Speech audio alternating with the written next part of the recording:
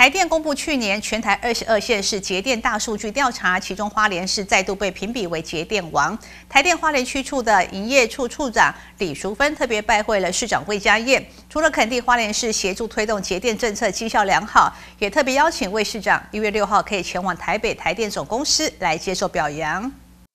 台电每年进行全台湾二十二县市节电大数据调查及节电累积户次，选出各个县市的节电冠军行政区。其中花莲市再度被评比为节电王。台电花莲区营业处处长李淑芬亲自前往市公所，向市长魏家燕报告这个好消息。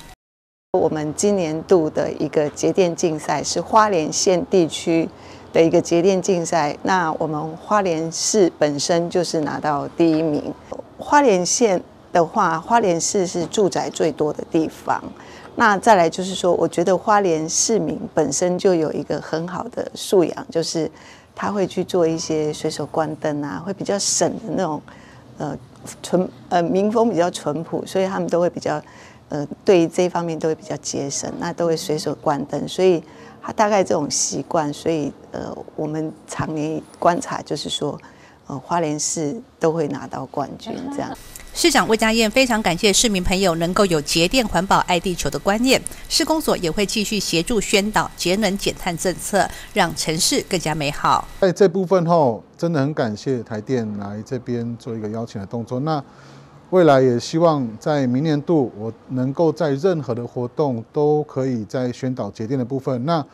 不管是在孩子的活动，或者是社区大人的活动，我都会一一的来推广。那也希望随手关灯能够爱护我们地球，因为地球只有一个。那也希望说用这样的观念来让子子孙孙都有电，都有一个好的环境可以来使用。台电花莲区营业处邀请魏家燕市长能够北上参加一月六号节电王表扬大会，也希望更多花莲乡亲能够继续落实节电行动，一起来珍惜地球能源。谢吕慧，欢迎市报道。